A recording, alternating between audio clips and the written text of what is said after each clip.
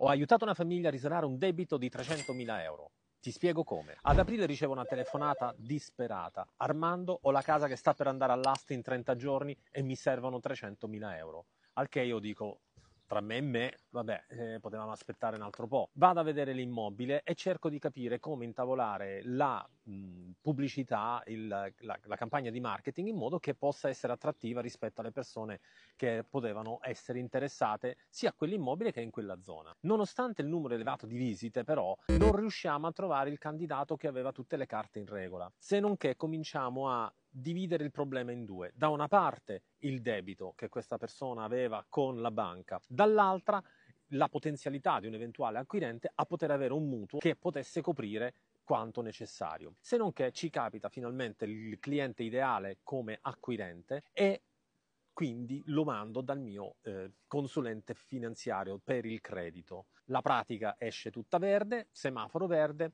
gli danno i soldi e quindi diciamo, noi possiamo gestire una somma che abbiamo eh, diciamo, messo a punto nella trattativa. Il venditore a sua volta, grazie all'affiancamento con il consulente del debito, eh, riesce a trattare con la banca e a ridurre l'esposizione totale. Tutto questo avviene otto giorni prima dell'asta. Non potete immaginare la mia soddisfazione alla telefonata successiva, nel momento in cui c'è stata la, la conclusione con l'atto fatto direttamente in tribunale, tra acquirente e venditore, riuscendola a sfilare all'ultimo secondo dalla, da, dalle grinfie del tribunale. Quindi mh, faccio questo lavoro non solo per i soldi, le soddisfazioni personali a volte vanno ben al di là della, della soddisfazione economica. Questa volta è andata bene, però poteva andare veramente male. Il messaggio è non aspettate fino all'ultimo quando avete un problema. In ballo ci sono i vostri soldi.